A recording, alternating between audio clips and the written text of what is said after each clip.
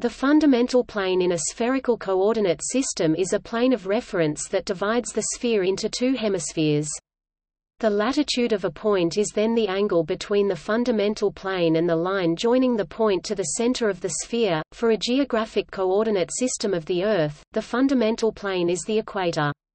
Celestial coordinate systems have varying fundamental planes. The horizontal coordinate system uses the observer's horizon.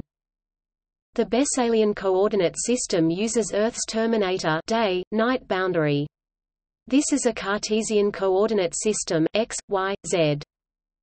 The equatorial coordinate system uses the celestial equator. The ecliptic coordinate system uses the ecliptic.